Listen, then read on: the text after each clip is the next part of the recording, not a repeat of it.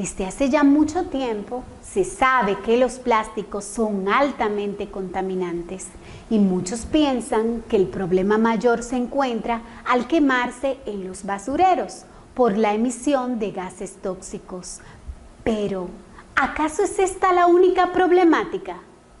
¿Te has preguntado qué pasa con los plásticos que no se queman en el basurero y que van a parar a ríos y mares?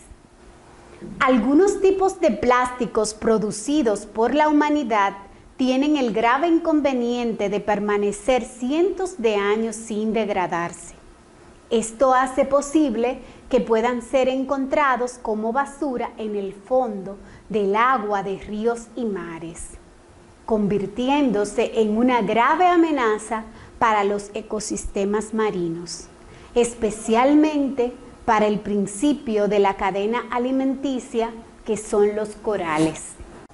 Y si hablamos de consecuencias inmediatas, ¿cuáles serían las consecuencias para los animales marinos que conviven con plásticos en nuestros océanos?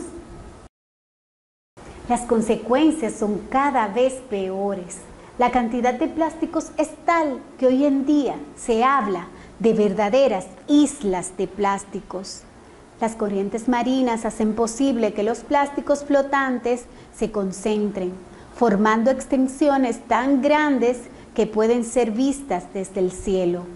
Lo peor de todo es que muchas criaturas marinas, como las tortugas, confunden las bolsas de plásticos con las medusas, de las cuales se alimentan, provocando su muerte.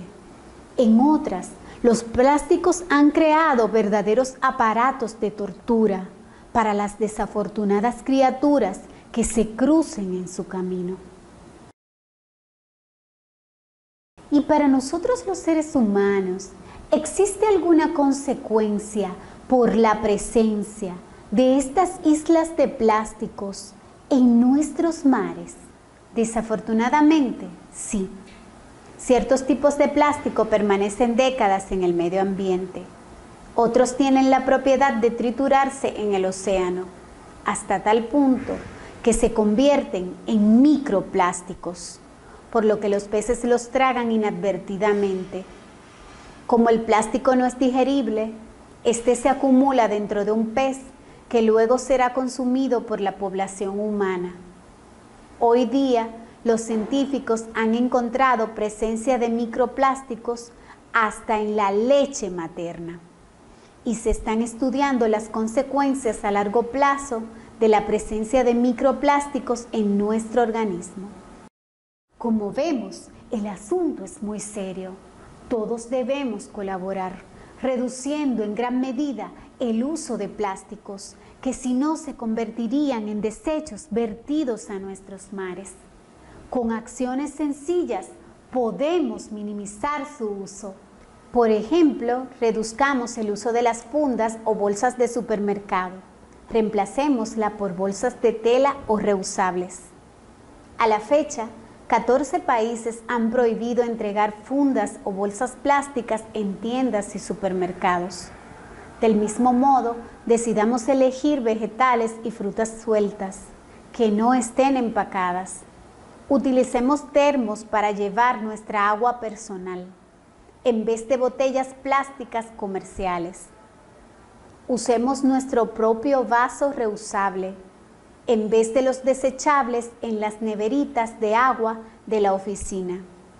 Además, compremos vasos y platos biodegradables para realizar festejos y celebraciones, en vez de los fabricados de foam y de plásticos. Tal como hemos visto, ayudar al planeta evitando el uso de tantos plásticos es una acción sencilla y al alcance de todos. Que nuestro estilo de vida sea una muestra de amor a la Madre Tierra. Protejamos la comunidad, la ciudad, los ríos y mares de la contaminación por plásticos. Juntos cambiamos el mundo.